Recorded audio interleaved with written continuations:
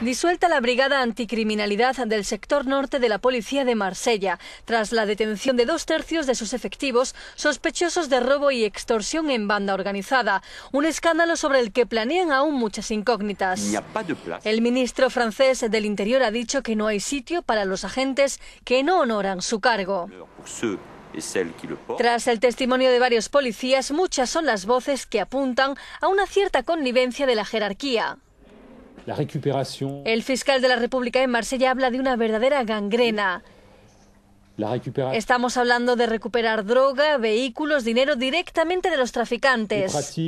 Prácticas ah, de registros ilegales, reparto de botines, todo estaba permitido de manera continua y desde hace mucho tiempo. Tout y passe, et cela de façon répétée dans le temps. Trece policías han sido interrogados en detención desde el martes. Otros 15 han prestado declaración en libertad. El caso está lejos de terminar, pues la principal incógnita es saber si la jerarquía estaba al corriente.